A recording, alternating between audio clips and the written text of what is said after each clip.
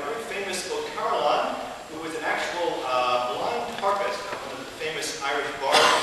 uh, born in the uh, later part of the 17th century, lived in the middle of the uh, 18th century, uh, well known for composing a great number of traditional, now traditional Irish tunes, uh, many of them apparently without words. He was not much of a wordsmith, or if he was, it's uncertain how much was his work and how much was other people's work. But here are two tunes that don't seem to have words as far as we know. Blind Mary